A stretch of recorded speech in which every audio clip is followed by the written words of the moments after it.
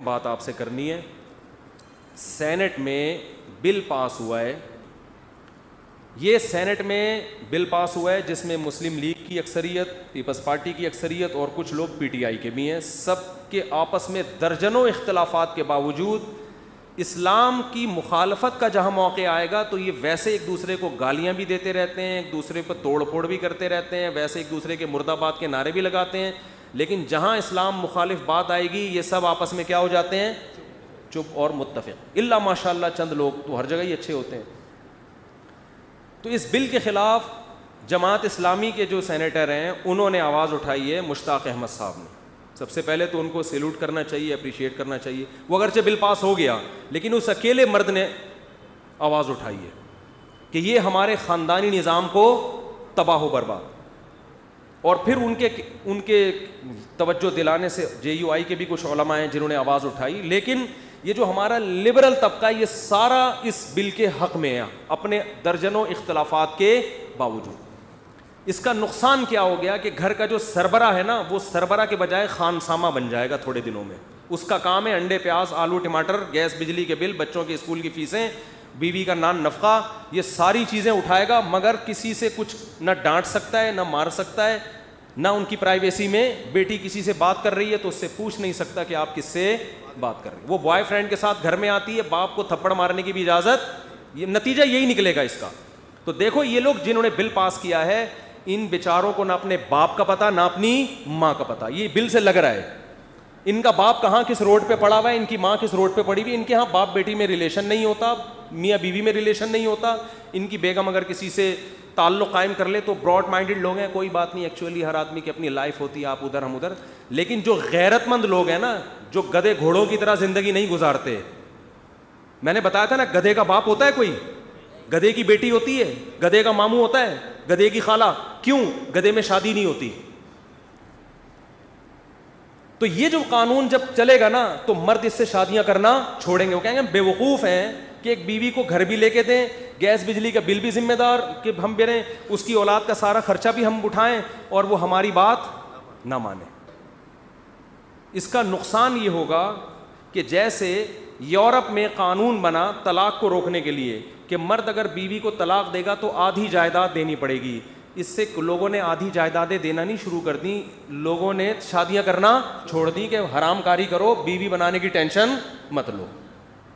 और जिन्होंने शादी की, उन्होंने कहा, अगर पेपर पे डिवोर्स दी तो आधी जायदाद देनी पड़ेगी, पेपर पे मत दो, वैसे छोड़ छाड़ के चले जाओ। तो मर्द तो वैसे भी छोड़ सकता है यार, कागज़ में रखो, बीवी है। लेकिन वैसे क्या करो? बीवी वाले हुकूक ना दो उसको। ताल्लुक ना रखो उससे। तो कौन उसको, पुलिस थोड़ी लेकर आएगी कि तुम्हारी बीवी है तो अब तुम आओ, इससे बैठ के बातें करो। तो ये ख़ानदानी निज़ाम को तबाह करने की एक बहुत ही बदतरीन साजिश है और इस पर आवाज़ नहीं उठाई जा रही जिस तरह से आवाज़ उठानी चाहिए। तो जिस, जो भी सोशल मीडिया पे जितना मुतहरक है, उसकी ज़िम्मेदारी इस कानून के ख़िलाफ़ आवाज़ उठाए। लोग ये कहते हैं कि औरतों पे बहुत तशद होता है, मानता हूँ होता है। बहुत सी जगहों पे गलत तशद होता है। इस्लाम ने फ़जाइल सुनाए कि औरत पे हाथ उठाने वाला अच्छा नहीं होता। नबी ने हजतुलवदा के मौके पे खुतबा दिया इस तवसू बिन नसा खैरा। आपने फरमाया, औरतों के हक़ में अच्छा सलूक करो, मेरी वसीयत है। नबी ने फरमाया, तुम में सबसे अच्छा वो है जो अपने घर वालों के साथ बीवियों के साथ अच्छे अखलाक से बात करे। अम्मी आयशा फरमाती हैं, नबी मुस्कुराते चेहरे के साथ घर में आते, मुस्कुराते चेहरे के साथ घर से निकलते। अम्मी आयशा फरमाती हैं, नबी, ऐसी मोहब्बत का इजहार करते कि मैं जिस बर्तन में जिस जगह से मुँह लगा के पानी पीती, नबी भी उसी जगह से मुँह लगा के पानी पीते। तो ये अखलाक इस्लाम ने सिखाए हैं, लेकिन साथ साथ औरत को ये भी बावर कराए कि ये तुम्हारा दोस्त होने के साथ सरबरा भी है। सरबरा के पास जब तक अपनी बात को मनवाने की ताकत नहीं होगी तो वो सरबरा सरबरा नहीं होगा। तो याद रखें जैसे कोई हुकूमत सरबराह के बगैर नहीं चल सकती घर भी एक छोटी सी रियासत होती है वो भी सरबरा के बगैर नहीं चल सकता। जिस घर में सर, मर्द अगर सरबरा नहीं है तो वो घर नहीं है वो रिहायशी होटल है। वो क्या है? रिहायशी होटल।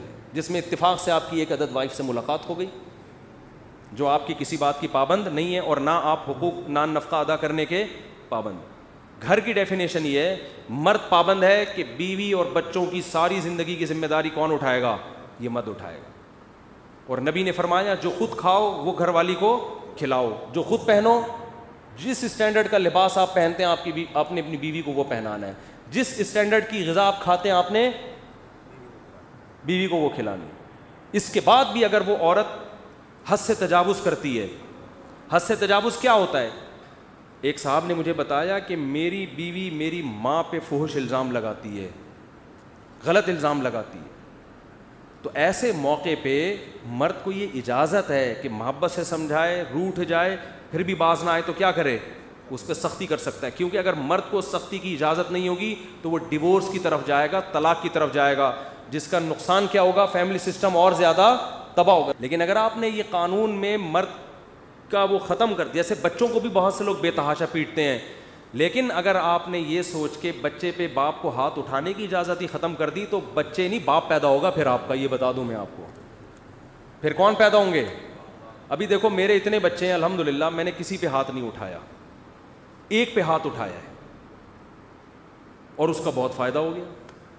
सब स्कूल जा रहे हैं सुबह सुबह उसको पता नहीं, हर थोड़े दिन में क्या होता था, मैं नहीं जा रहा, मैं नहीं जा रहा, मैं नहीं जा रहा, मैं नहीं जा रहा। हमें पता है यार ये अपना फ्यूचर क्या कर रहा है? ख़राब कर रहा है। बहुत माओ से तो बच्चे पिटते हैं, वो तो कोई पसर ही नहीं होता ना। वो तो बहुत अच्छा होता है बच्चों के लिए। माओ से पिटे पता चलता है ये माँ है। बाप के पिटने से बिगड़ने का अंदेशा ज़्यादा हो। तो इसलिए हम नहीं मारते कभी अपने बच्चों को। प्यार करते हैं। छुट्टी भी कर लें यार आराम से समझाएँगे। लेकिन एक बोलो, हद होती। हर दो दिन बाद फिर छुट्टी करके मदरसे से फ़ोन आ रहा है, स्कूल से फ़ोन आ रहा है भाई आ नहीं रहा। बंटे खेल रहा है, कभी उधर जाके बैठा हुआ है, कभी उधर जाके बैठा है। समझाया बहुत, नई बाज आया। एक दिन तबीयत से हमने क्या कर दिए? चित्रौल लगा एक दिन चित्रौल लगे, मेरा ख्याल है दो महीने हो गए, रोज़ाना पाबंदी से अल्हम्दुलिल्लाह, स्कूल जा रहा है। शाम को ट्यूशन जाता है, सुबह स्कूल जाता है। फ़ायदा हो गया कि नहीं हो गया? अब आप कहो नहीं जी इजाज़त ही नहीं है। तो और फिर क्या कि मैं बच्चे को मारूं और बच्चा थाने फ़ोन, वही होगा ना, थाने फ़ोन करेगा और बाप हो गया अंदर। उसके बाद मैं निकल के ऐसे बच्चे को कभी भी घर में रखने के लिए तैयार। सबसे पहले मैं हुकूमत से बोलूँगा, तुम पालो इसको। हमने बाप पैदा नहीं किए, हमने क्या पैदा किए हैं? औलादें पैदा की हैं। अब आप कहें, जी, इस कानून का नुकसान वो गाँव में फला बाप ने अपने बच्चे को इतना पीटा तो उस गाँव में उस बाप को जाके पकड़ो। किसने मना किया भाई? जो सुबह शाम बिला वजह पीटते हैं।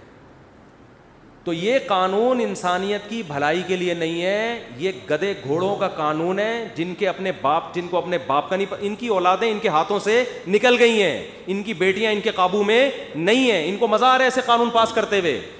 खानदानी लोग, इज्जतदार लोग कभी इस कानून की हिमायत नहीं करेंगे। तो आप सब लोग मुश्ताक अहमद साहब जो जमात इस्लामी के जिन्होंने इसकी भरपूर मुखालफत की है सोशल मीडिया पे आप सब उनको प्रोमोट करें अप्रिशिएट करें और इस कानून के ख़िलाफ़ भरपूर आवाज़ उठाएँ। ये हमारी नस्लों को तबाह करेगा ये कानून। समझ रहे हो? तो हम इसको नहीं मानते बिल्कुल भी। तो अल्लाह ने जो कानून बनाया उसमें इंसानियत की भलाई है। बेटा अपने बाप को थाने बीवी अगर अपने शोहर को थाने भेज देगी वो, वो शोहर फिर उसको बीवी बना के रखेगा घर में? अभी देखो अच्छा इसमें कानून में ये भी है कि मर्द ने अगर दूसरी शादी की भी बीवी को धमकी दी और बीवी ने कंप्लेन कर दी तो भी क्या है इस पर सजाए अभी जब मैं ये बयान कर रहा हूँ ना, एक घंटा पहले मैंने एक शख्स का दूसरी शादी का निकाह पढ़ाया अभी, यहीं पे। कराया मैंने किससे निकाह? जवान लड़का है। जिस लड़की से निकाह कर रहा है, वो उम्र में उस लड़के से ज़्यादा और उसके तीन बच्चे। नहीं आ रही बात। नहीं आ रही बात समझ। कोई उसके ख़ानदान में उस लड़की का साथ नहीं दे रहा। एक जवान आदमी उसको अलग घर लेके दे रहा है। मैंने उस खातून से पूछा कि ये आदमी अपनी पहली बीवी से परमिशन भी नहीं ली है इसने, और ये आप तलाक याफ्ता हैं, आपके तीन बच्चे हैं, ये आपको रख रहा है तो आप कैसे अफोर्ड करेंगी? तो मैंने उस बंदे से भी पूछा, मैंने कहा, आप अलग घर का इंतज़ाम कर रहे हैं? उसने कहा, मैं अलग घर का भी इंतज़ाम कर रहा हूँ। इनका नान नफ़ा इनके बच्चों का खर्चा किसके ज़िम्मे है? मेरे ज़िम्मे ये जो मुस्लिम लीगी है और पीपल्स पार्टी के लोग, सबकी बात नहीं कर रहा मैं बताऊँ, हर एक में अच्छे भी होते हैं। जिन्होंने ये सेनेट का बिल पास किया है, इस खातून का कोई हल बताओ। इसके अलावा जो हमने अभी एक घंटा पहले निकाह पढ़ाया है, इस औरत का को कैसे छाँव मिलेगी? इसको कहाँ से सहारा मिलेगा? अगर आप ये कानून बनाते हैं कि पहली बीवी के सामने दूसरी शादी की बात करना भी जुर्म है इस्लाम तो कहते हैं इजाज़त लिए बगैर भी आप कर सकते हैं, क्योंकि सिर्फ़ इसको नहीं, और औरतों को भी ज़रूरत है। या तो आप हमारी हुकूमत ऐसी औरतों के निकाह का इंतज़ाम करे। अब आप बताओ, एक जवान औरत तीन बच्चों को लेके किधर दर दर की ठोकरें खाएगी? हुकूमत तो अलाउंस जारी कर देगी ना, बहुत कानून, बहुत ज़्यादा कानून साजी होगी तो बेवा और तलाक याफ्ता औरतों को जॉब दे देगी।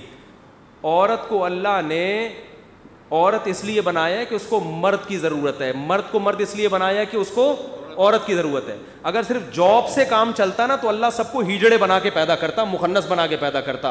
ना औरत की ज़रूरत, ना मर्द की। ये फ़िज़िकल रिक्वायरमेंट है औरत की कि मर्द चाहिए। मर्द को क्या चाहिए? औरत।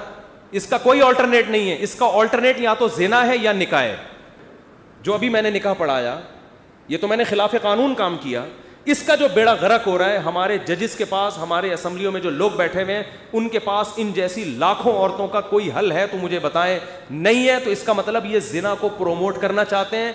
ये मर्द पे दूसरी शादी की पाबंदी लगाकर तलाक याफ्ता और बेवा औरतों को जिना का रास्ता दिखा रहे हैं। इससे कोई फ़र्क नहीं पड़ता कि ये जिना करें या निका करें। तो गधे घोड़ों के लिए गधे जैसे घोड़ों वाले कानून आप नाफिज करें ख़ानदानी लोग जो इज़्ज़त के साथ, निकाह के साथ ज़िंदगी गुजारना चाहते हैं, वो इस कानून को कभी भी तस्लीम नहीं करेंगे। उठाकर फेंक दो बाहर गली में, नई तहजीब के अंडे हैं, गंदे। हम लानत भेजते हैं इस कानून पे। एक सवाल ही पैदा नहीं होता इस कानून को हम फॉलो करें। ऐसी की तैसी। तो मैं तो मानता ही नहीं इसको। मैंने दूसरी शादी की किसी ने कहा, जेल हो गया मैंने कहा, दफ़ा करो, जेल हो जाएगी, ऐसी की तैसी। मैं तलाक की आफ्ता से शादी कर रहा हूँ, उसके बच्चों को पाल रहा हूँ। भाड़ में जाए यार। जेल हो जाएगी। एक आदमी ने मुझे कहा कि मुझे, मैं एक तलाक याफ्ता से दूसरी शादी कर रहा हूँ, उस बंदे ने मुझे कहा। और मेरे पीरो मुर्शिद ने मना किया कि इस तलाक याफ्ता से आप दूसरी शादी, बोलो, ना करें। वो आदमी डिफेंस में बहुत मालदार, लड़की गरीब। उन्होंने कहा, मैं इसको अलग फ्लैट लेके दूँगा। सही है ना? और ये दस साल पहले उन्होंने कहा, पचास हज़ार इसकी जेब खर्ची बांधूँगा मैं। दस साल पहले पचास हज़ार की एक वैल्यू थी। पचास हज़ार इसकी जेब खर्ची, यंग लड़का बिल्कुल, यंग। डिफेंस में अच्छी उसकी। मैं नाम इसलिए लूँगा, पकड़ा जाएगा। नाम इसलिए नहीं लूँगा कि क्या होगा? क्योंकि अभी तक क्या है मामला? किसी को पता नहीं है। अच्छी आमदन उसकी। डिफेंस में तो बहुत सारे लोग हैं भाई। किसी को क्या पता? वो भी ऐसा ना मुझे फ़ोन करके, यार, आप मेरे बारे में बताओ भाई, किसको क्या पता आपकी बात हो रही है? अब आप खुद ही फ़ोन करके बता दो तो एक अलग बात है। डिफेंस में दस साल पहले एक साहब ठीक ठाक आमदन मेरे पास आए, उन्होंने कहा, एक तलाक याफ्ता खातून है, जिसके बच्चे भी हैं। मुझे अल्लाह ने दिया है पैसा, मैं अलग फ्लैट लेके दे रहा हूँ उसको, उसके नाम कर रहा हूँ। और पचास हज़ार, कम से कम पचास हज़ार तो सिर्फ़ उसकी जेब खर्ची लाखोंपति आदमी है। शॉपिंग के लिए कार भी लेके दे दी उन्होंने। और बच्चे भी पाल लिए कह रहे हैं, सबसे बड़ी रुकावट मेरे पीरो मुर्शिद हैं जिनसे मैं बैत हूँ नेक आदमी है। वो कह रहे हैं, दो शादियों की टेंशन मत लो। इससे ना नमाज़ के रहोगे, ना जक़ात के रहोगे। बहुत बड़ी टेंशन है, ये फड्डों में रहोगे, ये कभी उधर कभी उधर। अब भाई, ये टेंशन नहीं। मेरे पास आए, मशवरा लेने के लिए मैंने उनसे कहा, आप जिन पीरों, बुज़ुर्ग की मशवरों पर अमल करते हैं, अगर ये उनकी बेटी होती, अगर ये उनकी बेटी होती और वो आपको परमिशन देते अपनी बेटी की खातिर तो सवाल पैदा होता है, दूसरों की बेटियों के लिए उसूल कुछ और और अपने लिए उसूल कुछ और क्यों? होता है कि नहीं होता? और अगर वो आपको परमिशन नहीं देते तो बेटी बाप का गरिमान पकड़ती कि अल्लाह ने मेरे लिए एक प्रॉपर इंतज़ाम किया मंथली अर्निंग का भी और एक अदद मुझे जवान मियाँ भी मिल रहा है। मेरे बच्चों की भी औरत को बाप चाहिए होता तो शादी का निज़ाम होता क्या? एक वक्त तक बाप चाहिए, उसके बाद उसको क्या चाहिए? शोहर चाहिए ना। तो अल्लाह ने मेरा घर बसाने का एक इंतज़ाम किया है तो अब्बा आप को तो बेटियों की फ़िक्र करनी चाहिए, ना कि उसमें रुकावट बननी चाहिए। मैंने कहा, आपको परमिशन देते तो तो ये इसकी अलामत कि दूसरों की बेटियों के लिए उसूल कुछ और, अपने लिए उसूल कुछ और परमिशन ना देते तो अपनी बच्ची पे क्या होता? जुल्म। तो मैंने कहा, इसलिए अल्लाह ने जब आपको इजाज़त दी है तो अल्लाह सबको देख के कानून बनाता है। अल्लाह किसी के बाप या किसी के पीरो मुर्शिद के देख के कानून नहीं बना, इसलिए अल्लाह ने कुरान में सिर्फ़ इतना हुक्म दिया है कि अगर तुम सबके हुकूक प्रॉपर अदा करो तो कर सकते हो, हुकूक अदा नहीं करो तो फिर नहीं कर सकते। लटका के ना छोड़ो किसी को, ना पहली को, ना दूसरी को। इसके अलावा अल्लाह ने किसी से आप परमिशन लेने की, आपको जब अल्लाह कह रहा है, बाप से परमिशन लेना ज़रूरी नहीं है तो गवर्नमेंट से परमिशन लेना कहाँ से ज़रूरी हो गया? तो ये खुद अपने कवानीन के खिलाफ ऐसे कानून बनाते हैं कि लोग उस कानून की धजियाँ उड़ाएँ। समझ रहे हैं ना? खुद इस कानून की धजियाँ उड़ाएँ। तो भाई, हम इस कानून को नहीं मानते। आप कह सकते हो, मुफ्ती साहब तो कानून की बगावत कर रहे हो। आपने जब इस्लाम से बगावत की है, पाकिस्तान का आइन है, पहली शिके के कुरान और सुन्नत के खिलाफ कोई कानून नहीं बनेगा। तो असम्बली वाले खिलाफ कानून चल रहे हैं। हम खिलाफ कानून नहीं, आपने आइन की धजियाँ उड़ाई हैं, ऐसे बिल पास करके। आप धजियाँ उड़ा रहे हो तो आप पे बगावत का मुकदमा चलना चाहिए। और ये जो सेनेट से बिल पास हुआ है, कि आप बच्चे पे हाथ नहीं उठा सकते। यानी ये इस्लामी नजरियाती कौंसल में भी नहीं गया। वरना कानून ये है कि इस्लामी नजरियाती कौंसल को पहले दिखाया जाता है, वो अगर बिल को पास करे तो फिर आगे जाएगा। वहाँ से हुए बगैर असम्बली में चला गया है। तो इसलिए इस कानून को हम नहीं मानते, उठाकर फेंक दो बाहर गली में, नई तहजीब के अंडे हैं, गंदे, ये गधे घोड़ों के लिए तो सही है, ख़ानदानी लोगों के लिए ये सही नहीं। हाँ जो ज़्यादा तशद करते हैं, बिला वजह मारते पीटते हैं, जैसे वाक़ात होते हैं तो उनके खिलाफ एफ़ आई आर भी कटनी चाहिए, केस भी होना चाहिए। लेकिन आप ये कहें कि आप अपने बच्चे पे कभी भी हाथ ही नहीं उठा सकते, इसका मतलब बच्चे नहीं पैदा करो, अब क्या पैदा करो? अपना बाप पैदा करो। हम हमेशा बच्चे ही पैदा करेंगे। बाप पैदा करने के हम कायल नहीं है। समझते हो?